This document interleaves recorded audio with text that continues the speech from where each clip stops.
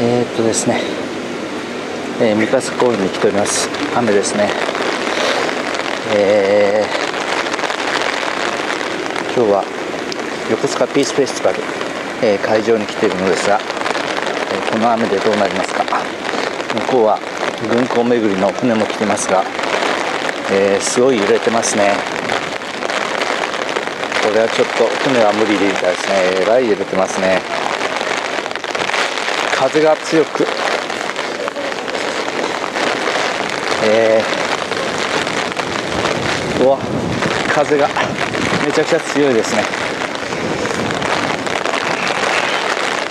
本当は天気予報は、えーえー、かまあ、風はあっても雨の方は1ミリ、2ミリという程度のはずだったんですけれどもそれでは全然飽きまへんですね。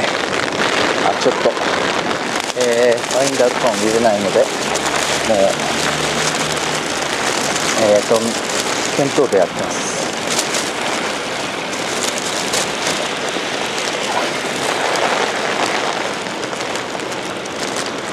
えーとなんとも早いですね。天気が。あのーこれで録画。録画されてるかどうかもわかんないっていう状態ですね、えー、これは本部になります、ステージ予定11時から市民水槽歌、えー、みんな待機してますね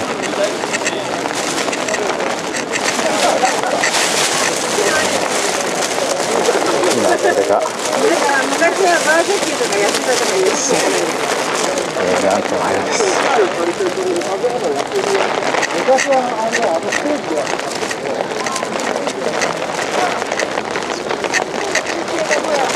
おあのはやってますありがとうございます。えーっとすいませんはい。これマイクね、はいそのそれが今来てますんでマイクで。はい。もう録画も中継もされてますはい、横須賀ピースフェスティバルの会場から木村静香です。おはようございます。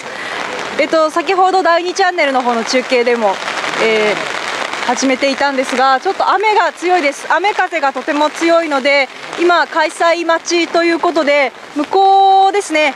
今実行委員会が集まって、えー欠航なのか。残念ながら雨天で中止なのかという話し合いをしている状態です。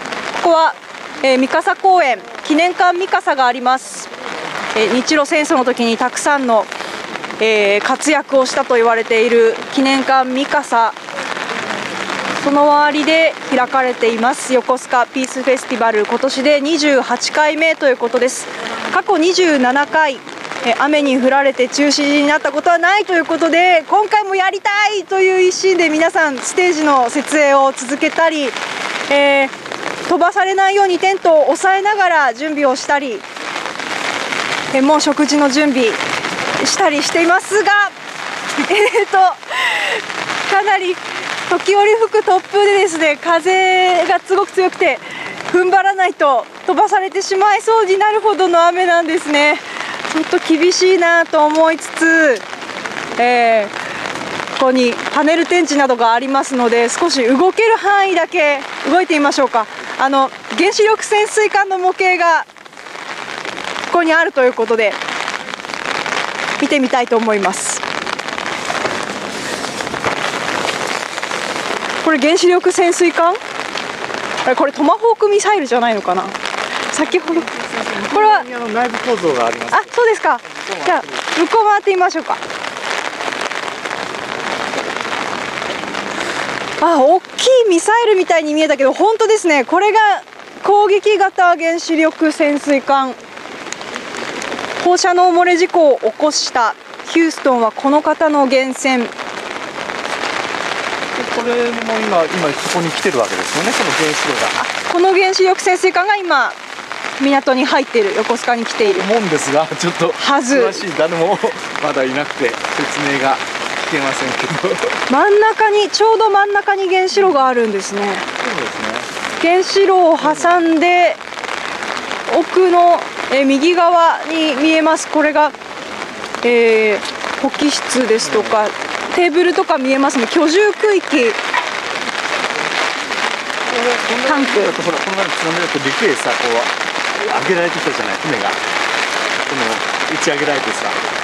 そういう船もあったじゃないですか。今の東北の地震でも。この前の地震でそうですね。こんなぐらいだったら大体陸に上げられちゃうと、はい。原子炉が冷却できなくなるという。ブ ブラックジョークな津波で岸に打ち上げられてしまうと。そうですね。原子力潜水艦はこう冷却するって海があるから海の水で冷却できるからということで。それほど危険がないんですよっていうシステムのようですけどね。これが来ているということで恐ろしいですね。でちょっとこちら見てみましょう。こちら沖縄の米軍基地模型がありますね。これ毎年展示されているものでかなりしっかりと作られています。雨に濡れても全然平気。えー沖縄の米軍基地96年の作品だそうです。これってこれが沖縄のえっ、となんて言うんでしょう本本島っていうんですか？沖縄の本島であのこれ赤いところが米軍基地ということですよね。ここら辺が那覇那覇の那覇飛行場那覇空港海兵隊補給基地普天間飛行場はい。例のオスプレイが配備されてるわけですね。この普天間にオスプレイが。すごい。あのはい。住宅地のそばだったんですね。へ普天間飛え行場っていうのはすごいですよ。もうすぐそばにあの飛行あの住宅が詰まってる場所でしたね。そこでまあオスプレイが飛んでるというとこですこの赤い印がついてるところが米軍の使用している場所ということですよね。かなり面積が多いのがここで見て。まあこれをもっとちゃんと使えて観光に使えばすごい産業はもっと進行するはずだというあこのなるほど。まあ、横須賀でもよく言われるんですけれども、はい。あの要するに基地があるから経済成り立つっていうようなこう錯覚を持ってる人は結構多いんですが、うん。あのでも実際はこれだけの土地があればもっと使えれば、経済的にはもっと発達するはずだというあなるほど。ふうになります。うん。というのを誰かが説明してくれるはずなんですがはい。そうですね。はい。ちょっとまだ実行委員会はテントに集まって、えー会議中ということで。どんな値かはちょっと。はい。ですね。ちょっと濡れちゃってるんですが、えー軍転法、えー復興50年に際して実行委員会からの提言ということで、えー運転法に関してのパネル展示そしてこれは横須賀の地図ですね。横須賀横浜、えー地図。横須賀市の地図と軍転法ドキュメント。がおっと風が強い。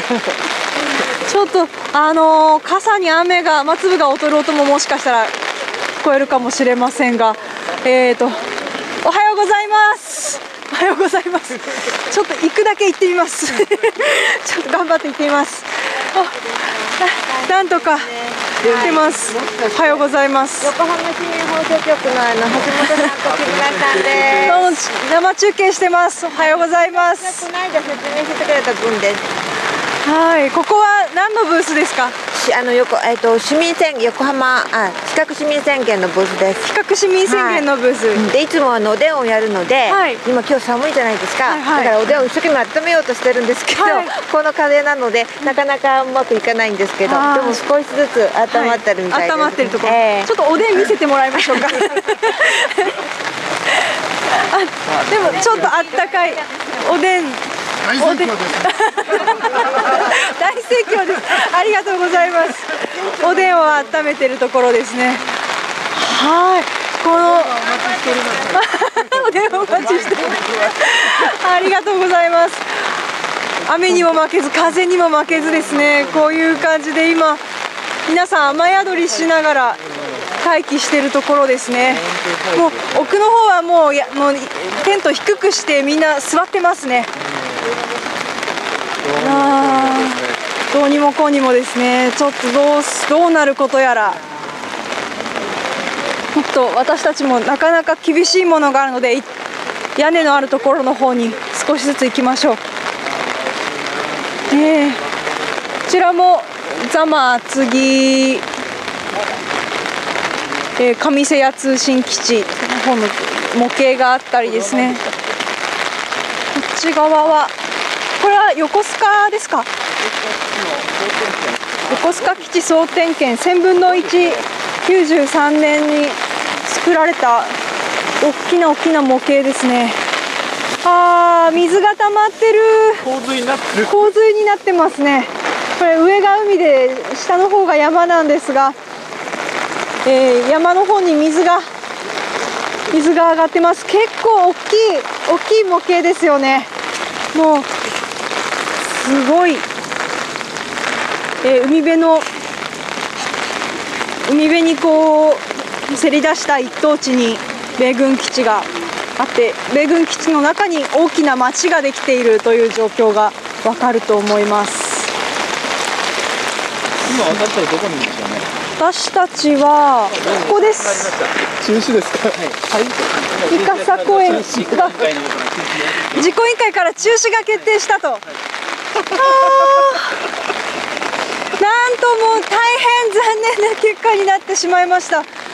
いやー28回第28回横須賀ピースフェスティバル、えー雨風が強いためただいま中止ということで残念ながら初めてそうですね。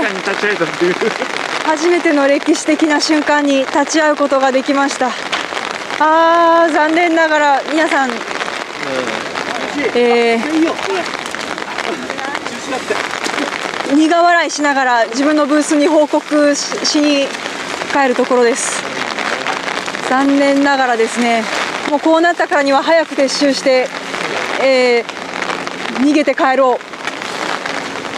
帰ったもん勝ちでしょうかね。いや残念だな。本当にいや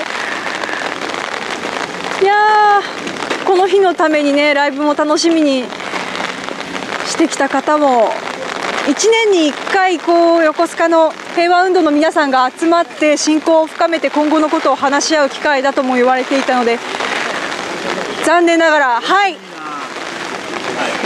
ゃああの言葉を少しはいせっかくですから中止ということで、はい。残念ですね。残念ですね。はい。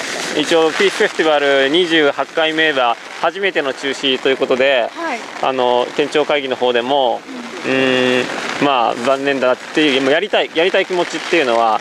まあ、あるっていうのは言われましたが、まあ、その現実的に、まあ、あの物が売れちゃうあ濡れちゃうとかね、そういうのがなので中止の判断って形になりましたね僕ももう78回参加してますけど、まあ、こんなに大変なのは初めてで残念です、はい、今回はインターネット中継実行委員会もあの、まあ、やる気というかあのすごくなんていうのかなあのそれそれをやって広めていこうっていうのにやっとそういう実行委員会レベルでの認識になってあの依頼って形がね変わりましたけどもあのはい。あの中止の連絡になってしまい とても残念ですね。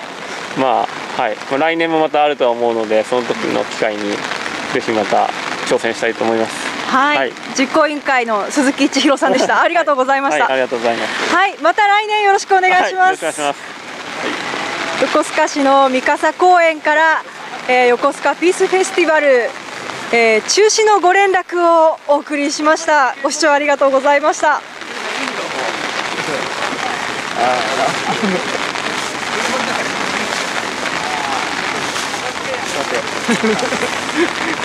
さて、市民放送局の皆さんにインタビューしましょうか。えー、とたくさんの機材を用意して朝早くから8時前から、えー皆さん頑張ってきましたが森田さん、はい今日の感想を一言お願いします。はい、あのいい雨がたくさん降っててうん楽しいです。しいですねテントもはいとんとん飛びそうではいあのもう全部びしょびしょで寒くて楽しいですはい。ありがとうございます。音声担当の森田さん、ありがとうございました。ちょっと手がかじかんでるようなんで、ちょっとぐるーっと回りまして。杉山さん、一言お願いします。先週は灼熱だったのに今年は大雨ですね橋本さん今回は来年来週はどうでしょうか？来週はからあのよ横浜市場祭り？はい、はい。はい。頑張りましょう。はい。なるほど、来週は横浜市場祭り市場祭、り。市場のお祭りと、あと山下公園でもお祭りがあるということで。さあ週末ごとになんかねもう大変な天気がこう繰り返されるんでどうなることやらはい。じゃあ皆さんどうもお疲れ様でした。撤収頑張ってやっちゃいましょう。はい。お疲れ様です。